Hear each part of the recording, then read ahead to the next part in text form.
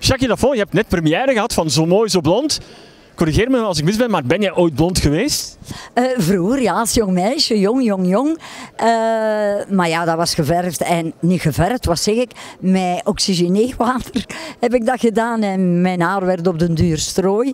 Maar ik heb daarop veranderd toen dat ik begonnen ben in Ancien Belgique eigenlijk, in Antwerpen. 22 jaar, je wilt alles eens proberen. En zo ben ik blond geweest, maar dat is direct veranderd met het toneelstuk Boeing Boeing. Moest ik een donker pruikje en ik ben donker gebleven, wat mijn naturel is. Zeg, deze niet, hè? Deze niet, hè? Zeg, een van de hoofdrollen in Zo Mooi Zo Blond. Hoe was het om in de Elke een musical te doen? Wel, ik moet zeggen, we hebben, en dat was voor mij de hemel, uh, een heel toffe, sympathieke bende. Echt waar. Onze regisseur heeft eigenlijk het, het ja, de meeste, het meeste geduld moeten hebben met mij. Omdat voor mij ook weer een totaal andere ervaring was. Ik heb vroeger als jong meisje verschillende musicals gedaan. Maar deze is zo echt een feel-good variété show, als ik het zo mag noemen. En ik ben dat totaal ook niet gewoon. En ik was ook heel, heel moe van uh, de zware shows aan de kust. Ik had ook verschillende repetities moeten missen. Maar iedereen van de cast heeft mij zo gemotiveerd en zo lief geweest voor mij. En mij ook zo met open armen ontvangen.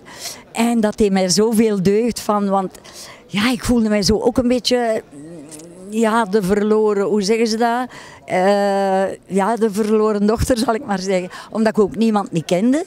Maar het is zo een toffe, sympathieke, sympathiek gezelschap dat ik mij ook eigenlijk meteen een beetje thuis voelde en nog altijd. En het wordt maar beter en beter. Ik zou zeggen, het is echt één grote, gezellige, toffe, plezante familie. Zeg, en je staat niet alleen op het set, hè? want je hebt je hondje bij. Ja, dat was toen uh, de regisseur, hè, onze man nu, kwam dat vragen bij me thuis om mee te doen. En ik heb direct ja gezegd. Ja, zegt, nou, uw hondje mag ook meedoen. Ik denk, wauw, wauw, tof. Maar ze is zo bang in die caravan. En ze is zo bang achter het podium. Maar ze gaat toch altijd mee. En uh, ik vind het zelf ook heel plezant dat ze mag meedoen en kan meedoen. Maar ik zeg het, ik ben hier ja, zo gelukkig met die jongen, want het zijn allemaal jonge mensen. En dat geeft zoveel energie. En ook, ja, ik voel mij ook jong tussen de rest, terwijl ik...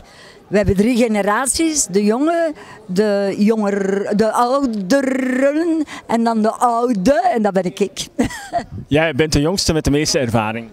Dat wel, maar dit, zo, ja, dit genre was toch wel heel hard aanpassen. En ik moet me nog heel erg concentreren. Dat wil ik wel heel duidelijk stellen.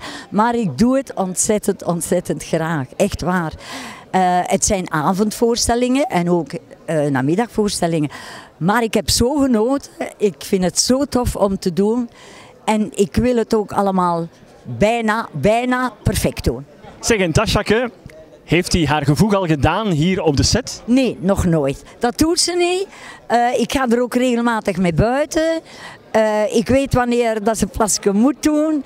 En dat is allemaal geen probleem. En ze doet dat eigenlijk perfect. Ze is zo braaf, ze blaft ook nooit. En ze is vriend van iedereen. Allee, vriendinnetje van iedereen.